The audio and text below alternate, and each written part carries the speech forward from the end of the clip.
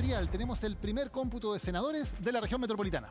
Vamos a ver entonces cómo va a quedar eh, el resultado de los senadores. Eh, tenemos, aquí está.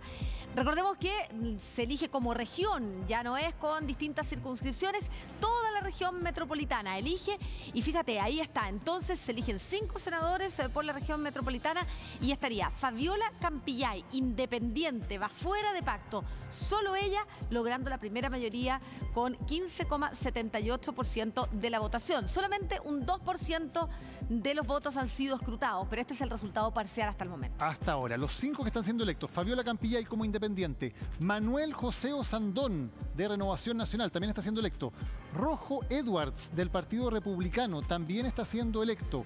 Claudia Pascual del Partido Comunista también estaría llegando al Senado y Jaime Mañalich de Evópolis. Esos son los cinco que llegan. Luego, con altas votaciones, pero sin llegar al Senado, Karina Oliva, 457, pero por el sistema electoral queda afuera.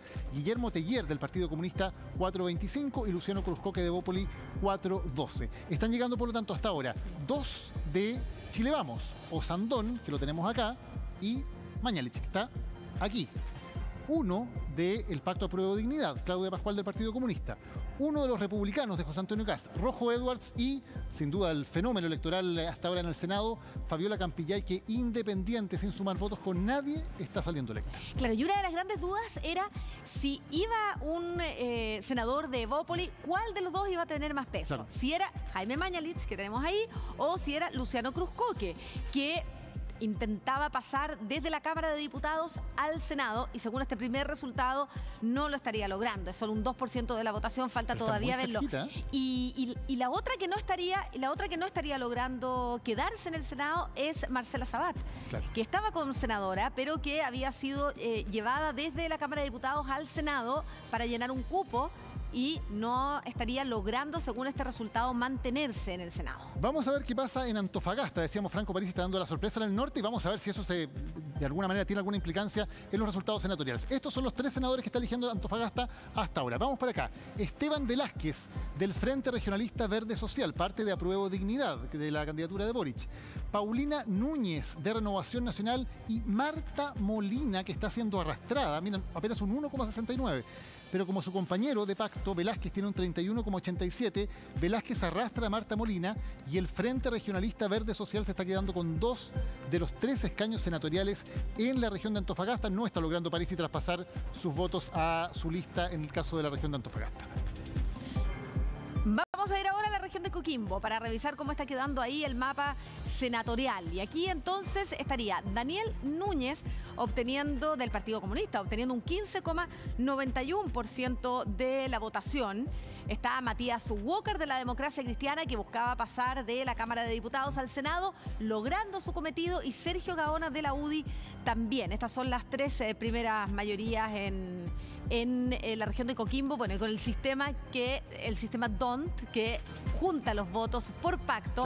Y de esa manera, por ejemplo, Adriana Muñoz tiene más votación, pero el pacto hace que Sergio Gaona, con 10% de los votos, eh, sea el, que sería electo. Y los tres que estamos pintando en azul son los que son elegidos. Los otros tienen altas votaciones, pero quedan fuera. Esos tres son los que están siendo elegidos en la región de Coquimbo, que elige tres, uno de Apruebo Dignidad, uno del Frente eh, del, del Nuevo Pacto Social y uno de Chile Vamos. Hagamos nuevamente el hincapié que es recién el primer conteo de votos de senadores que se está entregando y todavía con muy, muy, muy eh, baja eh, contabilidad de votos. Así es que eh, esto, todo esto puede cambiar. Nos vamos a la región de O'Higgins, que también elige tres senadores.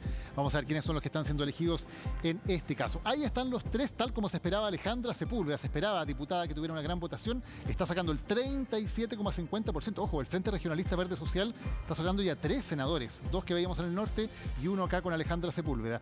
Juan Luis Castro del Partido Socialista está entrando con el 15,09 y Javier Macaya de la UDI, que estaba en dura disputa con Ramón Barros de su mismo partido, con el 15,03. Veamos quiénes están quedando fuera, esos son los tres que están siendo elegidos, pero está estrecha ver, la plano y vemos eso, vemos quiénes serían los que estarían quedando están fuera, ahí con quiénes le siguen, quiénes le siguen en esta carrera. Ahí tú decías, la estrecha pelea con Ramón Barros, ahí está, pero le sigue, pero con más baja votación. Luego viene Claudio Mella del Partido de la Gente. Ahí estaba eh, gran parte de la duda respecto a si la votación altísima que está obteniendo Franco Parisi en distintas regiones del país se iba o no a traspasar a sus electores.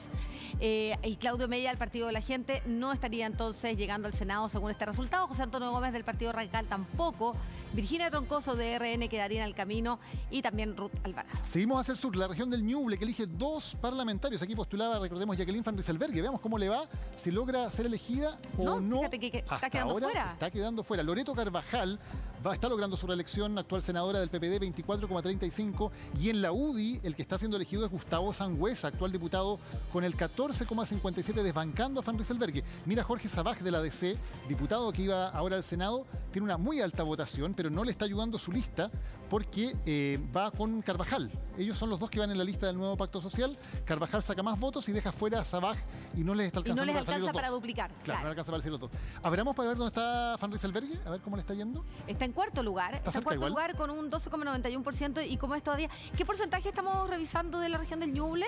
Es un 2%, ah, así todavía, se puede mover esto. Sí. porque hay muy poca diferencia entre quienes van primero y segundo dentro de sus mismos pactos. Hasta ahora cada pacto está sacando uno y claro, está estrecha la disputa. Entonces vamos a ver qué pasa allí. Región del Biobío elige tres senadores, hay muchos diputados aquí que quieren dar el salto hacia la Cámara Alta. También la vi muy bien a Franco Parisi. Veamos si el Partido de la Gente aquí, que hasta ahora no está logrando replicar su éxito presidencial en la senatorial, logra algo más. Vamos a ver. ¿Qué porcentaje tenemos la región del Biobío? Con 4,1%. Vamos a ver. más alto. ¿Quiénes son los tres que están siendo electos? Acá está, mira, Sebastián Keite, el actual diputado de Evópoli, está entrando con el 12,12% de los votos. José Pérez del Partido Radical con 9,73%. Y ahora sí, mira, María Angélica Ojeda del Partido, de la Gente, 4,45%, está obteniendo un cupo en el Senado del Partido de la Gente por la suma. Mira que su votación individual no es tan alta, pero como suma con los demás de su lista, está logrando el cupo. Exactamente, y es lo que vamos a tener que empezar a revisar región por región, viendo de qué manera esto se mueve y si se quedan finalmente con estos cupos en el Senado. Vamos a la región de los ríos con un 10%, una alta votación ya, esto puede estar mostrando tendencia si es que las diferencias son importantes. Y María José Gatica se estaría quedando con el puesto en el Senado de Renovación Nacional con un 24,68% de los votos y también mantiene su puesto Alfonso Durresti del Partido Socialista e Iván Flores de la Democracia Cristiana. Pero se estaría perdiendo Ena Claro, la está desbancando María José Catica, que es de Renovación Nacional, a la actual senadora Ena Fonbaer de la UDI, que se está quedando bastante más atrás. Y entonces, eh, dos para Nuevo Pacto Social. Flores de la DC y de Urresti del PS. Buen resultado para la exconcertación acá en la región de Los Ríos. Seguimos revisando, vamos a ir a Los Lagos, región de Los Lagos tres senadores eligen los lagos, tenemos el 11%. Ahí están los tres que entran, ¿ustedes los ven ahí? Mira, había duda respecto a la reelección de Iván Moreira y según esta gráfica, y en el 10% de los votos estaría logrando mm, eh, poder estar ahí en, el Senado. Veamos, está Fidel Espinosa del Partido Socialista, que está, es actual diputado, que está obteniendo el 15,64, desbancando al actual senador socialista Rabindranath Quinteros. Ya vamos a ver cómo le está yendo a Quinteros. Alejandro Santana, de Renovación Nacional, también actual diputado, entra con 14,87, e Iván Moreira se mantiene en el Senado con 10,62. A ver los que están quedando fuera para ver qué tan distinto es la diferencia. ¿Podemos revisar en el plano amplio a ver quiénes se quedan fuera? Las votaciones más altas de los que están eh, quedando afuera hasta ahora del Senado. Claro, porque todavía podría moverse un poco si es que fueran muy estrechos. Claro, Quinteros mira, está a cinco puntos de Fidel mm, Espinosa, podría darle la pelea Hay que mirar por pactos, eso es muy importante, hay que mirar por pactos. Porque, por ejemplo, Rabindranath Quinteros tiene 10,44% de los votos, pero no compite con Iván Moreira, que está ahora allá, sino que compite con Fidel Espinosa. Claro que sí.